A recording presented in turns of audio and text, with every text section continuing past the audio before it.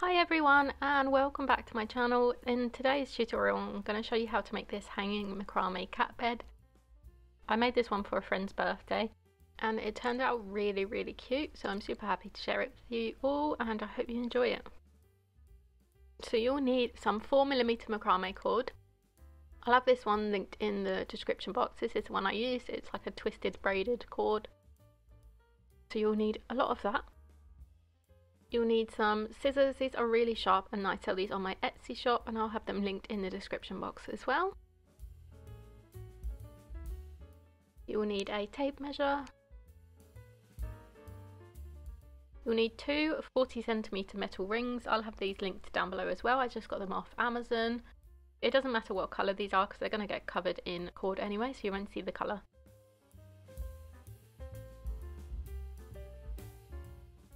You'll need 8 lots of 580 centimetre lengths of cord.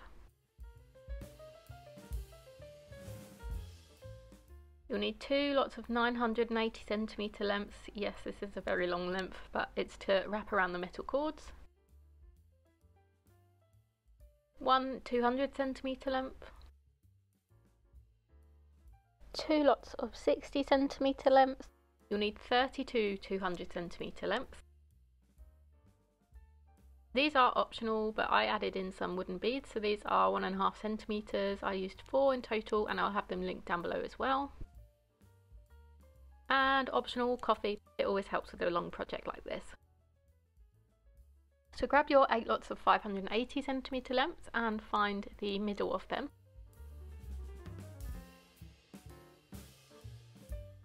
So it gets a bit tricky because the cords are much longer, but if you don't want to make the loop this way, you can just tie a knot so it creates a loop at the top, but I like doing it this way because I think it creates a really nice neat finish and it looks very professional.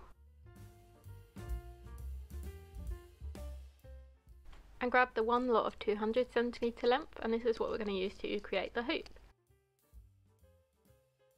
So from the middle point, I'm going to measure out about 10 centimetres because in total I want the loop to be about 20 centimetres. So half of that is 10, so go from the middle point, measure 10 to the left, and that's where we're going to start the hoop. But I think mine actually ended up only being about 15 centimetres in total, so it's entirely up to you how big you want to make this hoop. From the 10 centimetre mark, I have wrapped the 200 centimetre cord around, so I've left a very small tail like this and then I'm just pulling the rest underneath.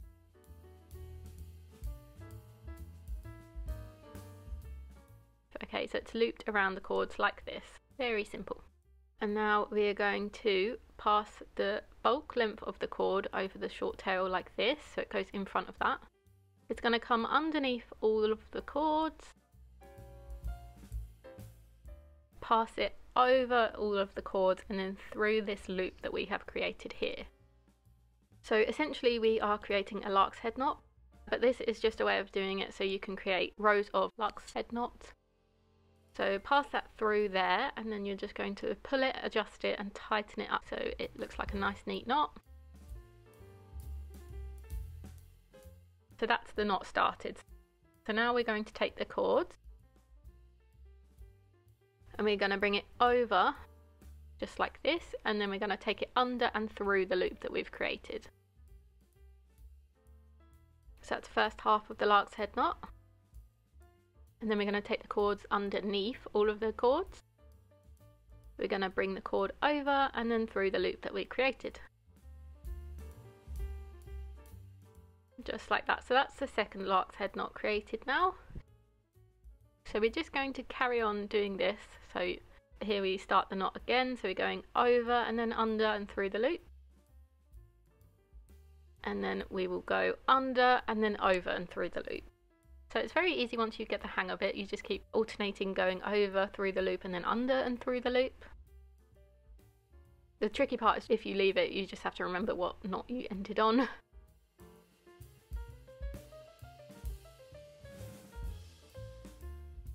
So you can see I just keep adjusting it, making sure all the knots are about the same. And then it will very slowly start to sort of curve around. As you can see, it's starting to begin that now. So I'm getting out my tape measure and then I'm going to try and do this until it measures about 20 centimetres, but I think mine only measured about 15 in the end. So just carry on doing that over and under through the loop knot until you have something that looks like this and you can see it's curved round and it will form a really lovely hoop. So mine was about 17ish centimetres so it's up to you but I quite like the look of that. You can see if you bring it together it forms the perfect loop. So now grab one of the 60 centimetre lengths of cord and the two cords that are left from that lark's head knot we're just going to include in this and we are going to create a wrapping knot. So for the purpose of the video I'm just going to show you how to make one using this red cord so you can see it a bit easier from the contrast. So we are going to grab the 60 centimetre length of cord. So this will be right at the bottom of those lark's head knots. And we're going to form this short tail here and this loop here. And then we've got this long tail here.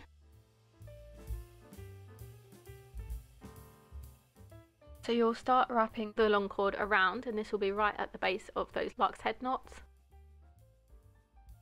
So keep on wrapping until you've done about six or seven wraps and then we're going to pass the long tail through the loop that's at the bottom. And then you pull on the short tail that's at the top and the loop will start to close. And then you're just going to pull it so that you can feel the cord and it's about halfway through the knot. Don't pull it all the way through as it might undo the knot. So that'll be a nice neat finish. So we're going to do that right at the bottom of the lark's head knot using the 60 centimeter length of cord. So you can see I'm just creating that loop the short tail at the top. Just like that. So you can see why I showed you with the red cord because it's a bit easier to see if you don't understand the knot. And then I'm just starting my wraps right at the bottom of the lark's head knots.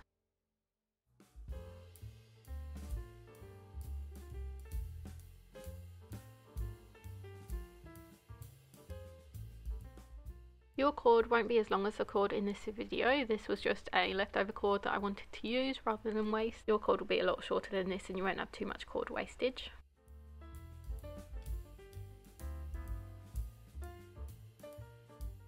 You can see I'm pulling it until the cord's halfway through the knot. And then I like to split the cords and just pull them apart so it pushes the knot up and it makes it nice and tight. And then we can just snip off all the excess cords from that and any leftover cords from the lark's head knot.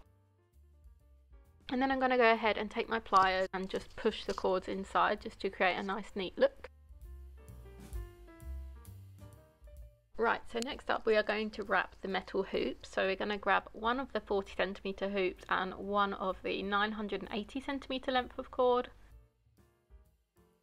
so I'm going to attach the cord to the hoop using a lark's head knot. So I'm just folding it over like this on top of the hoop. And I'll fold the loop under the metal ring like that. And then we are going to pass all of the cord through the loop that we've created. So you can see I'm just making the loop a bit wider to make it easier as there is such a lot of cord. So I'm making it as wide as I can to make it nice and easy for myself. So we're just going to pass all of the cord through the loop just like that, including that small tail there. And then we're going to pull that to tighten it. And then that is the cord nice and secured onto the metal ring now. Right, so this is the exact same knot process as we used to create the loop at the start, so it's nice and easy, you should remember how to do it quite easily now. So I'm going to take the cord and I'm going to go over the metal ring and then underneath and through the loop.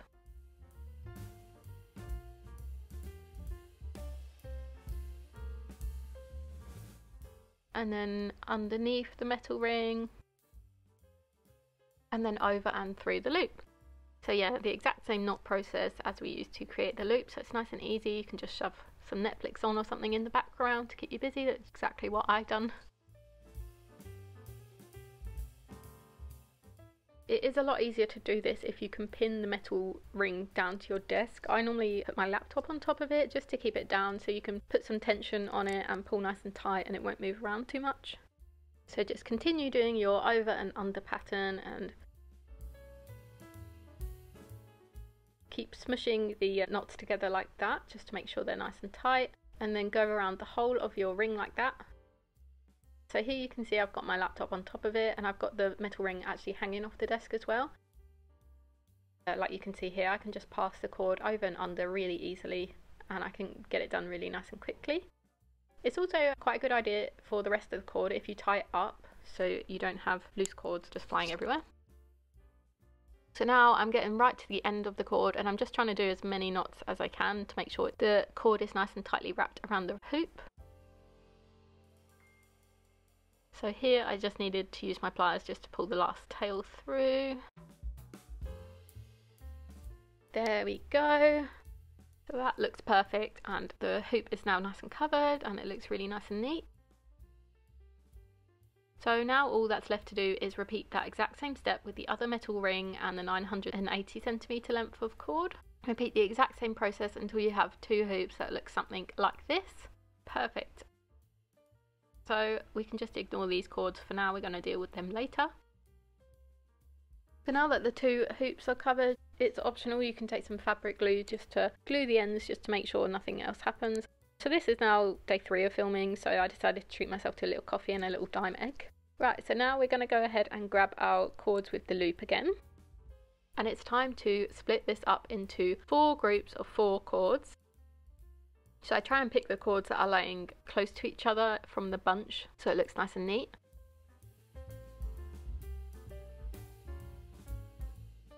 And we're going to be working on one set of the cords. So I'm going to lay the cords out so they're nice and flat. And then I'm taking my tape measure and from the bottom of the loop I'm going to measure out about 20 centimetres and that's where we're going to begin our square knots.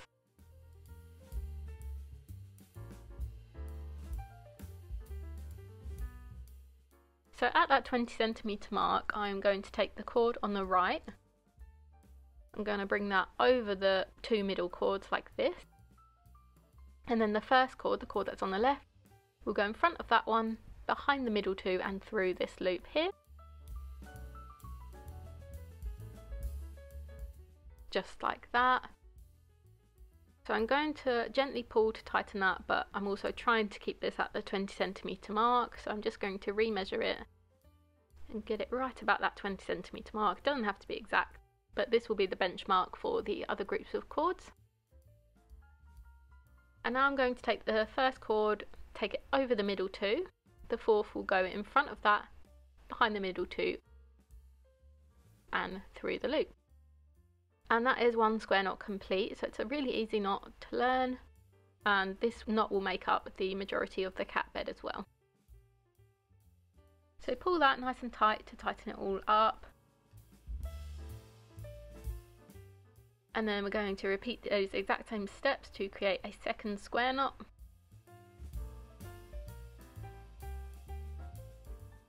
So we've got two square knots now, so we're going to create four in total, so add two more onto that. So now we've got four square knots here, I am going to add on a wooden bead, but of course this was optional, so if you're not doing this you can just go ahead and skip this step. But I'm going to take the two middle cords first. I'm just going to fold over the end because it creates a sharper point to push through the wooden bead. I'm just going to twist it on like that. So that is now threaded onto the two middle cords. And then I'm going to do the exact same with the two outer cords and put them inside the bead as well.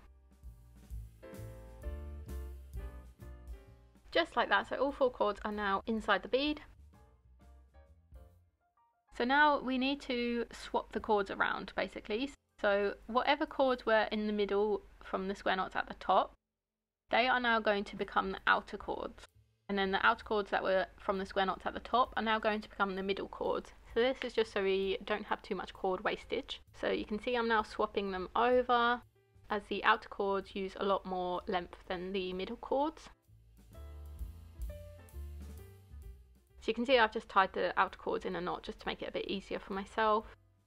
And now we are going to create four square knots using that exact same method. Just like this, so it's nice and identical. And now I'm going to repeat those exact same steps on the other three groups of cords. And using that first group as a benchmark for where the square knots should start. just like this until you have four and they all start about the same height and they look nice and neat. Now it's time to attach the hoops onto the cords. Ignore these scuffs on the wall, we have a dog.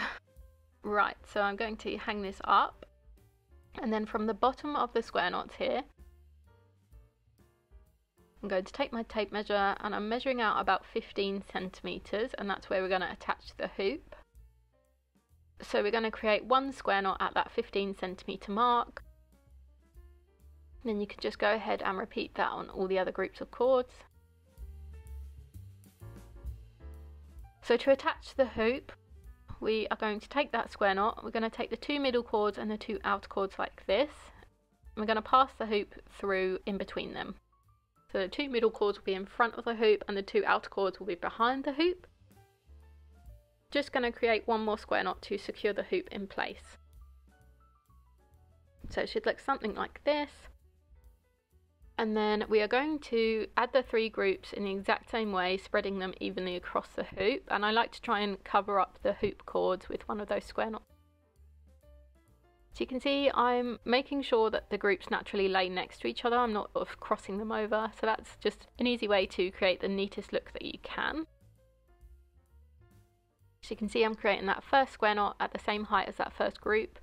Then I'm going to attach it to the hoop about a quarter of the way around. You can measure this as well if you want to be really even so I'm just going to attach it in the exact same way by putting the outer two cords behind the loop and the two middle cords will stay in front of the hoop and then we're just creating a square knot to secure it. And you can just do this roughly for now. Once all the cords are attached we can go ahead and move them around to make sure it's nice and even. It just is easier if you can just attach the hoop quickly and then sort it out later. Again, I'm going to attach the other two cords now around the hoop. And as you can see I'm trying to cover up the wrapping cord from the metal hoop. So I'm placing this over that so it will kind of hide it a bit. Sorry it's so out of focus and I really didn't realise but I hope you can still see what I'm doing. Just like that and now I'm just attaching the last group Perfect, and now it's time to grab the 32 lots of 200 centimeters and we're going to attach these around the hoop evenly using a lark's head knot. So we're going to do four sets of cords on each quarter of the hoop. So I'm taking one cord and I'm going about a quarter of the way in between those gaps and passing the middle point over the hoop like this. I'm going to pass the two cords through the loop and that's a lark's head knot which is the most basic knot you can learn but it's super super easy. So I'm going to attach a second cord next to that one in the exact same way. So each quarter of the metal hoop will have eight cords split into four groups of two cords if that makes sense. So I'm just moving that across and then I did end up measuring it. So if you're using a 40 centimeter one they should be about 4 centimeters apart. So I'm going to add the next two about 4 centimeters apart from that first group. Just like that. And then I'm going to go ahead and attach two more sets. So that is one quarter of the metal hoop done now. So with the remaining 24 lots of 200 centimeters you can go ahead and fill out the hoop like you just done Okay, so now that all of those cords are attached around the hoop and they're all kind of evenly spaced out as evenly as you can get them, it's now time to create one square knot on each set of those cords, apart from the cords that are coming from the loop. So just the cords that you've just added, create one square knot on top of them.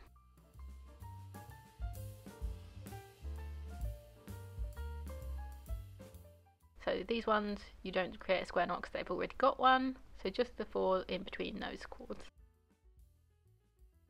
Okay, so now that we've got a square knot on all of the cords, we can go ahead and create an alternating row of square knots now.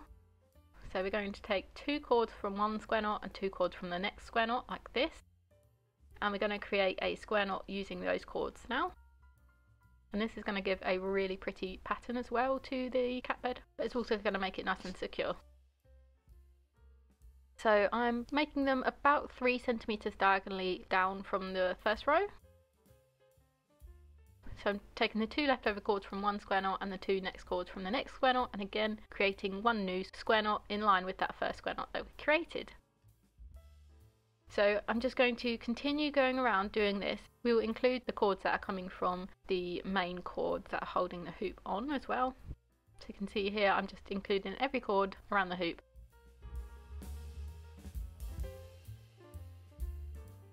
we're going to go ahead and create this second row of square knots. And now we're going to create another alternating row. So again, we're going to split the square knot cords up and create a new square knot in the middle. And we're going to make this about equal distance apart as that second row. So you can see we're getting this really nice diamond pattern shape.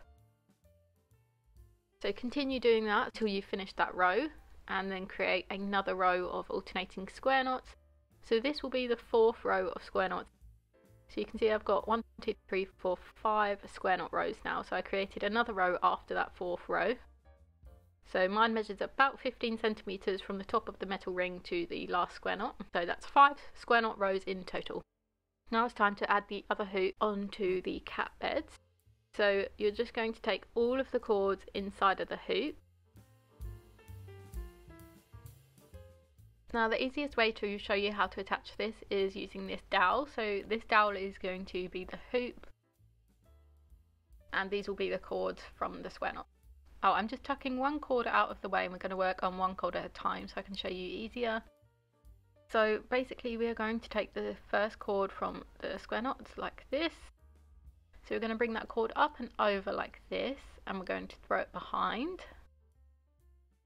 just like that. So you can pull that to make it nice and tight. And then we're going to bring it up and over, but this time towards the left. Throw it behind, and then we're going to bring it through this loop here. So it may look a bit confusing at first, so I'm just going to show you again on the second cord. So this is creating a double clove hitch knot. So we're going to bring the cord up and over and then down towards the right. And then I'm just going to pull that tight next to the other cord and then we're going to bring it up and over towards the left and then bring the cord through the loop here. So that is the exact knot that we're going to use on all of those cords coming from the square knots to attach the second metal hoop. So I'm going to try and show you now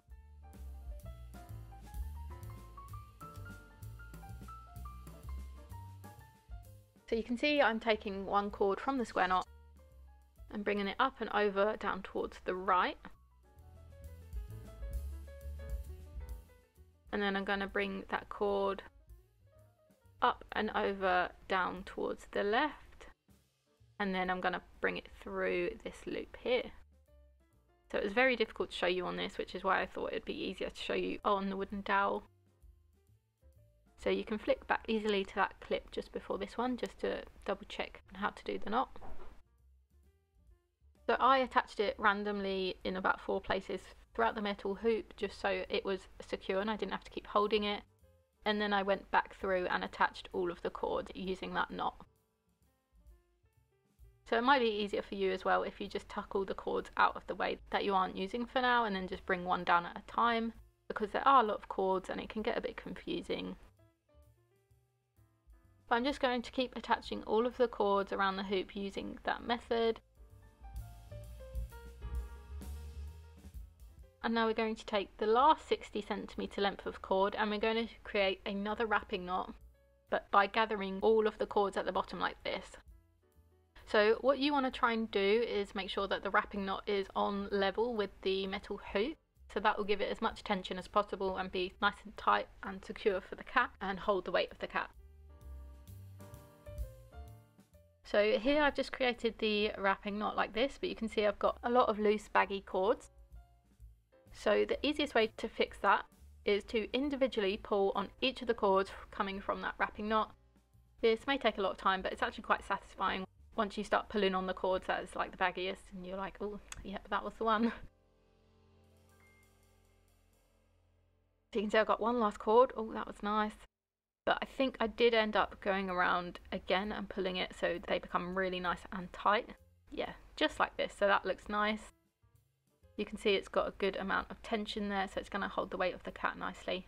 And then all that's left to do is to trim off the excess cords from that wrapping knot and then trim the bottom of your cat bed if you wanted. I actually left mine as is because I quite liked the look of the cords hanging as they were all sort of different lengths and it wasn't too neat, too straight, you know, I quite liked that natural look. So now I'm just going to go ahead and snip off the cords that were from the wrapping knots of the hoop. If you wanted, you can go ahead and dab some glue on that. But yeah, I think I left mine like this because I quite like that look. And the cats could probably play with that as well, you know, if they wanted to, to play with the bottom of the cat bed, it would probably work out quite well. So yeah, that is the hanging macrame cat bed complete now. And I really hope you enjoyed following along this tutorial. It's my longest tutorial ever on YouTube and it took probably about a week to film. So I really hope you enjoy it. Please like, subscribe and comment if you can. And if you do make this, please be sure to tag me on Instagram at LunaCraftsOnline because I'd really love to see it. And of course, I'd love to see all your little furry cat friends. So I really hope you enjoy it. If you could like, subscribe and comment, that'd really help me out and make my day. And as always, I really hope you have a lovely week. Bye!